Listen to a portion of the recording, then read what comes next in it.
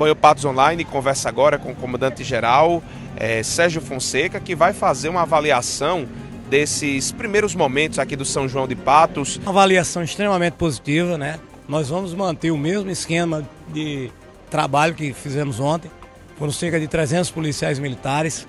Logo no início da festa, conseguimos fazer a prisão de um elemento com um revólver calibre 38, tentando entrar no local de festa, ou seja, nós percebemos aí que o esquema de segurança está muito bem feito. Agora é importante também salientar que tivemos muitos registros de furto de aparelhos celulares. Inclusive tivemos informações que a Polícia Rodoviária Federal, já no estado vizinho aqui do Rio Grande do Norte, conseguiu fazer a prisão e a apreensão de alguns aparelhos celulares que muito provavelmente foram furtados aqui no terreiro do forró. Então é importante que as pessoas que fizeram registro na delegacia procurem a delegacia para que possam reaver esses aparelhos. O povo paraibano se identifica muito com São João. Nós fazemos realmente o melhor e o maior São João do mundo, literalmente, né? E aqui eu não falo só de Campina Grande, eu falo de João Pessoa, de Bananeiras, de Patos, de Santa Luzia, acabei de vir de lá. Ou seja, é uma tradição do nosso povo.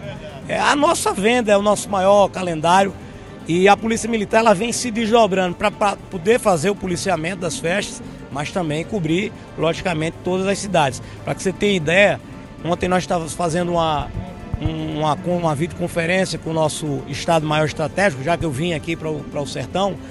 Até o dia de ontem nós já tínhamos 1.549 eventos solicitados no São João para esse período junino no ano 2024, ou seja, Operação São João 2024.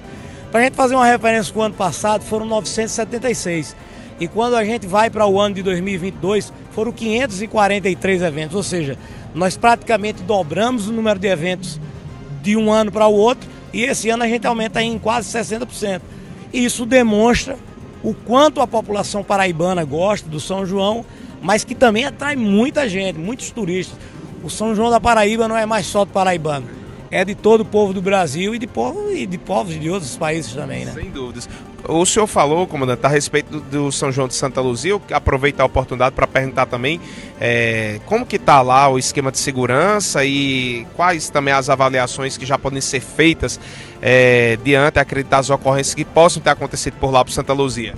Olha, o São João de Santa Luzia está bem tranquilo. Nós deixamos lá com o mando do Capitão Carneiro, fizemos a, a pré-eleção com toda a nossa tropa. Lá nós estamos com, é, é, com cerca de 200 policiais, um pouco menos do que aqui em Patos. São João de Patos atrai mais multidão nesse momento. São João lá de Santa Luzia está mais tranquila, bem mais família, muitas crianças.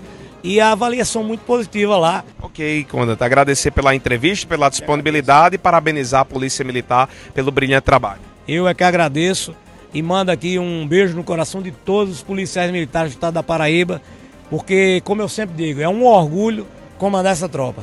José Filho para o Patos Online.